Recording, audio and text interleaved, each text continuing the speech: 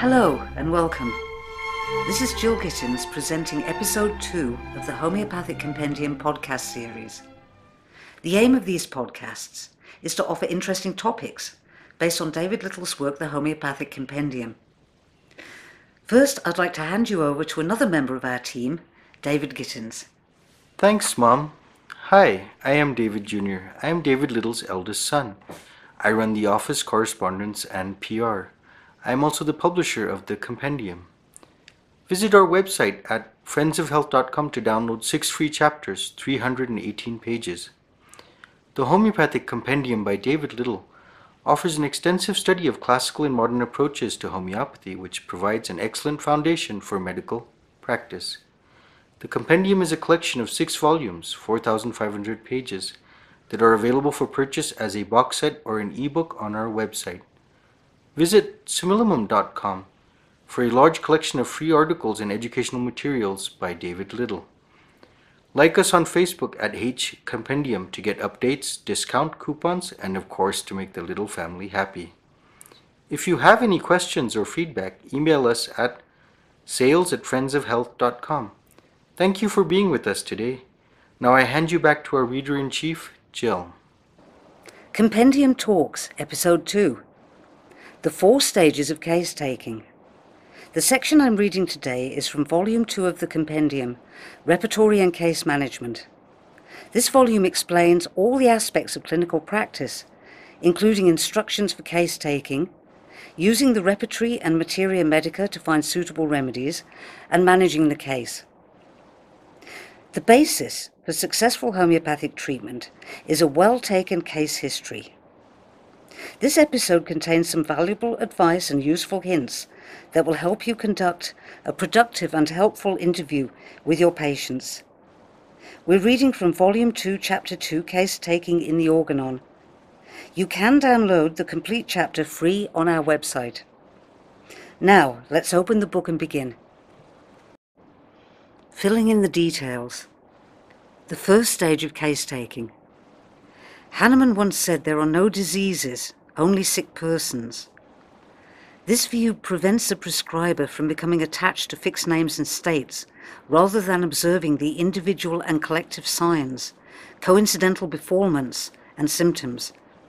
Hahnemann's mark of genius is demonstrated in his balanced view of the patient and the disease.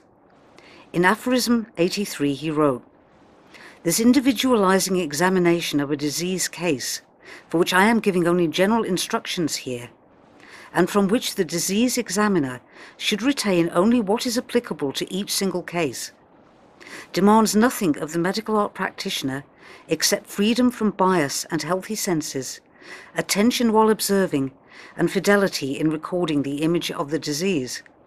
The first task of a homeopath is to record the true image of the disease, not just the names of advanced pathological states. A practitioner should cultivate freedom from prejudices, sound senses, and fidelity in tracing the gestalt of the disease. It is often said that a homeopath should let the client tell their story without interruptions.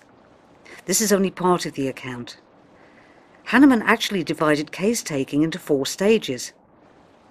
The four phases are listening to the patient without interruption, asking general questions, asking precise questions, and recording one's own observations. To successfully record the image of the disease, the homeopath must view the condition through the symptoms of the patient, information collected from relations and neighbours, and personal observation. In Aphorism 84, Hahnemann wrote, the patient complains of the process of his ailments. The patient's relations tell what he has complained of, his behaviour, and what they have perceived about him. The physician sees, hears, and notices through the remaining senses what is altered or unusual about the patient. He writes everything down with the very same expressions used by the patient and his relations.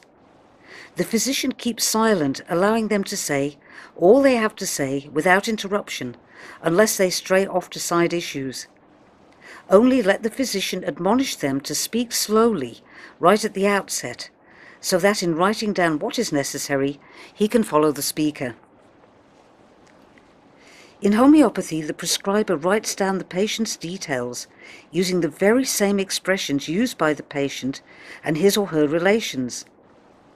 Unlike the allopaths, they do not translate the words of the patient into the pathological titles found in medical textbooks. At this time, the practitioner keeps silent so they can record the process without interrupting the natural flow of the information. The practitioner only interrupts the patient if they stray off the subject at hand. The observer notes the nature of the patient's responses and any interaction with those present in the room. Most patients have a limited view of their situation, especially when it comes to how other people see them. It is very important to get the wife, children, relations or friends in a separate room so they can speak freely about the patient. The statements, however, must be vetted for their accuracy, as relatives and friends may have their own prejudices. The homeopath seeks to know much more about their patient and their lifestyle than an orthodox practitioner. The homeopath lets the patients do the talking rather than expecting them to be passive recipients of the physician's opinions. The homeopath is trained to speak to the patient in simple language, unlike the orthodox medical experts. There is no need to attempt to mystify the laity by using the latest pseudo-medical terms, which are usually here today and gone tomorrow. In the footnote to aphorism 84, Hahnemann again reminds us not to interrupt the patient because they will not repeat their statements again in precisely the same manner. The symptoms that are spontaneously volunteered are often the most valuable, as they are not coloured by the framing of questions. Hahnemann continues in aphorism 85 the physician begins a fresh line with every new symptom or circumstance mentioned by the patient or relations, so the symptoms are all ranged separately, one below the other. The physician can add to any one that is initially stated all too indefinitely, but afterwards more clearly. The second stage of case taking. Each symptom and circumstance should be written on a separate line so that there is room to add additional information later. It is useful to leave a few blank lines below each of the most important symptoms so that there is ample space for more details. After the patient has completed what they have to say on their own accord, the homeopath then returns to each symptom separately and elicits more information. Now the homeopath begins the second phase of case taking, where they seek further clarification of the symptoms given by the patient, relations and other witnesses. In aphorism 86 Hahnemann wrote, When the narrator has finished what he wanted to say of his own accord, the physician enters a closer determination of each particular symptom in the following way. He reads through the single symptoms reported to him and asks for further particulars about this or that one. For example, 1. At what time did this performance take place?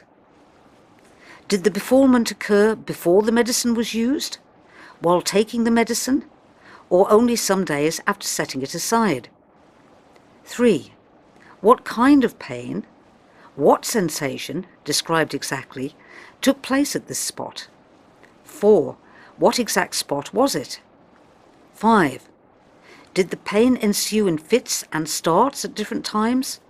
Or was it persistent, incessant? 6. How long did the pain last? 7.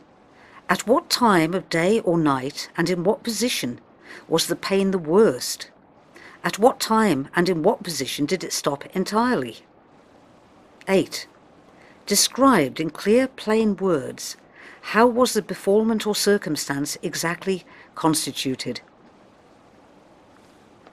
In this manner, the healing artist makes a closer examination of each single statement without putting words into the patient's mouth or asking questions that can be answered by a simple yes or no. A homeopath avoids leading the patient because this will produce a false picture of the disease state.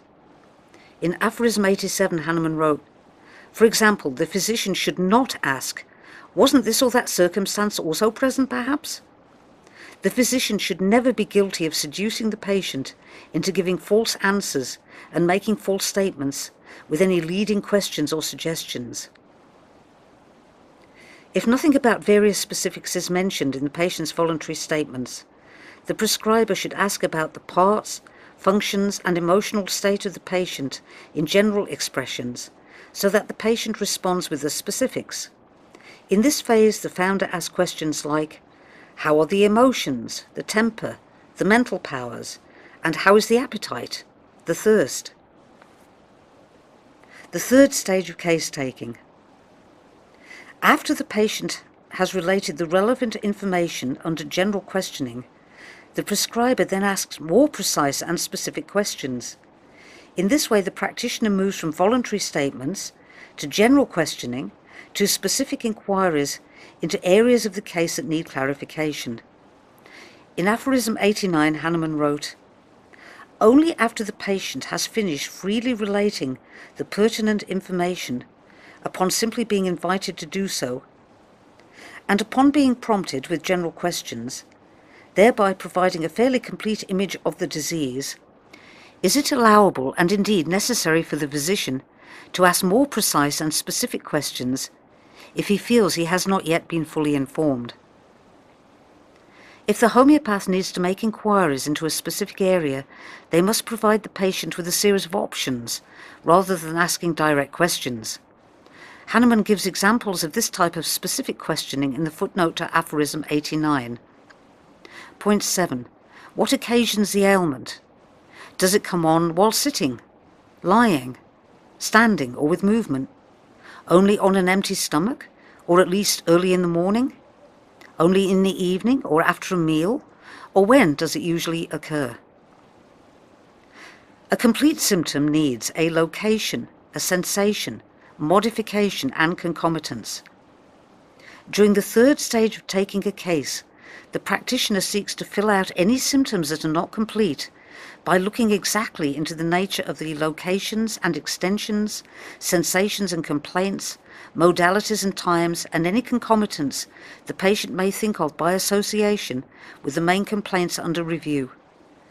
They must also look into the circumstances that surround the symptom and search for any possible originating or maintaining causes.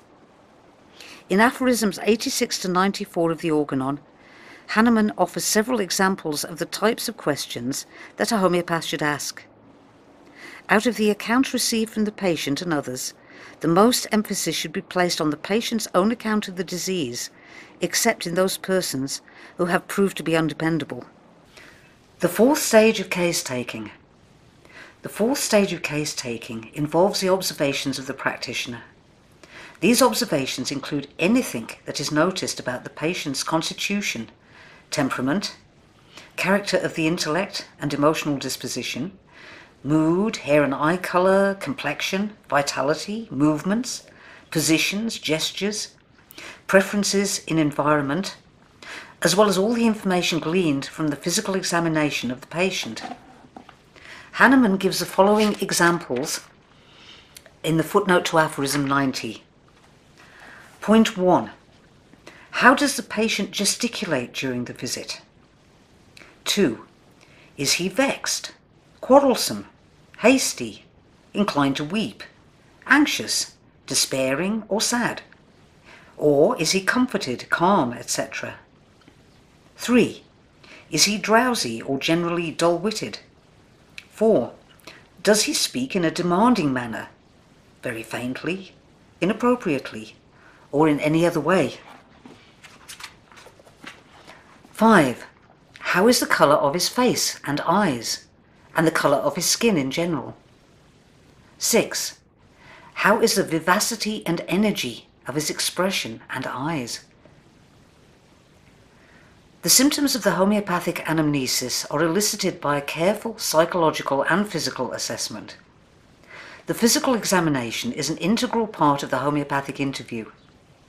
Some consultants have left this part out of their case taking. Yet in the footnote to aphorism 90, the founder speaks of collecting the following information. 7. How is the tongue? 8. How is the smell of the mouth? 9. How is the respiration? 10. How is the hearing? 11. How much are the pupils dilated or constricted? How rapidly do they alter in the dark or light? 12. How is the pulse? 13. How is the abdomen? 14. How damp or dry, cold or hot to the touch is the skin in general, or this or that part of it? One might ask, how did Hahnemann determine this information if he did not examine his patients through his own heart and senses and with his own hands? A compassionate touch is not only reassuring to the sufferer, but also provides the homeopath with valuable information. Often a patient states that he or she feels hot and prefers a cool environment. This leads the homeopath to believe he or she is a, quote, hot patient. What if the person's skin is cold to touch, even though the patient says they feel hot? Isn't this important? These symptoms are strange and oddly characteristic and may point to the correct simillimum. How can the homeopath elicit this information if they never touch the patient? The physical examination. John B. Young, who was treated by Hahnemann in Paris in 1837 when he was only 12 years old, gave the following account in the Medical Advance in April 1893. The boy had been sick for two years, and his physicians gave up all hope of his survival a compassionate, wealthy lady brought John to Samuel Hahnemann. He was so exhausted that they travelled in stages so as not to weaken the patient. J. H. Allen carried out the interview at the Hering Medical College of Chicago. This account can be found in the Life and Letters of Dr. Samuel Hahnemann by Bradford. Dr. Allen begins a conversation. You went from London to Paris? Yes, I went from London to Paris. When you arrived in Paris, did you go and see Hahnemann, or did Hahnemann come and see you? He came to see me the second day after my arrival and gave me an examination that lasted about an hour and a half. Did he strip you? Yes, I had to go to bed. He went over me more thoroughly than I have ever been gone over before or since. Dr. Allen. And still it is said that Hahnemann was a symptomatologist and usually prescribed for symptoms and rarely made a physical examination. Mr. Young. He would make me count one, two, three, etc., up to 100, and put an instrument to my chest, and did the same to my back, and he did more thumping of my chest than I ever had before. He said he knew that I had come to him in time and he could cure me. Did he give you very much medicine? Not a great deal. I think I had medicine about four times a day at first, including what I got at night. What was your impression of Hahnemann? The first impression made on my mind when I saw him was that his face had a luminous expression. He looked more to me, as I would call it, a divine man. There was divinity about his appearance. He was a good man, undoubtedly, and I was informed that he often, when he gave his medicine, said to his patients that he was but the instrument, that he did the best he could and then they must look to God for the blessing. Unquote. This stirring rendition of Hahnemann's presence to a dying young boy whose life he saved is very touching, as was the fact that he did not charge anything for the nine months of treatment. It illustrates that Hahnemann was an expert not only at recording symptoms, but also at the art of clinical examination. A well trained homeopath will notice signs and symptoms during such an examination that their orthodox counterparts would not. The means used in such an examination may look similar, but the direction that it takes a homeopath is quite different. Kent also was a firm believer that examination of the patient is an integral part of taking a case. He wrote, There is more to be learned about diagnosis and prognosis by studying the complex of symptoms than by any form of physical examination, but both and all methods of investigation should be used, as they confirm each other, and often, where one is defective, the other is strong and helpful. Unquote. Sometimes it is said by homeopaths that the study of pathology is not necessary. Yet Hahnemann's writings represent the most advanced pathological system in medicine. If the homeopath has no idea of what the patient is suffering, how can they find a remedy manage the case, and advise the patient on their condition. It would be more accurate to say, as Hahnemann did, that orthodox pathology, with its lack of integrated symptomatology, rigid metabolic concepts, and reductionist disease names, is of no help to the homeopath. It is important to write a complete physical description of the patient, as these general symptoms are important signs. Is the patient tall and thin, or short and fat? Are they tight or loose tissue types? Do they have dark or light colouring? Do they seem irritable, calm, hasty, slow, anxious, hopeful, or lachrymose? Is the patient's basic constitution choleric, phlegmatic, sanguine, or nervous, or a mixture of these? How much vitality does the patient seem to have? Are their reactions quick or slow? How sensitive do they seem? Does the patient have the unhealthy, dirty look of Psora, or the warts, flecks, and moles of sycosis? Does the patient have the reddish coppery colouring of syphilis? Or the pale, greyish, white skin and flushed cheeks of pseudopsora. Technically speaking, symptoms are those things stated by the patient, and signs are those things observed by the examiner. So that's the end of our reading for this episode of Compendium Talks. Thanks for listening, and remember to look out for our next podcast. See you again soon. Bye bye.